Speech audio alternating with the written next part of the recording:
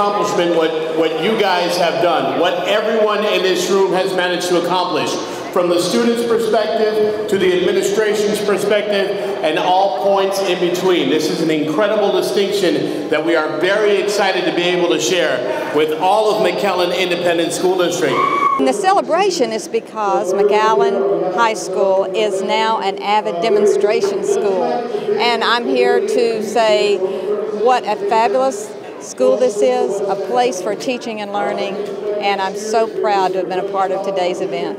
We had just found out moments before, and we came into the gymnasium, that uh, McAllen ISD, specifically McAllen High School and the AVID program here at this campus, had been recognized nationally for all their hard work that has been taking place by students, faculty, and staff, and parents uh, over the last 10 years.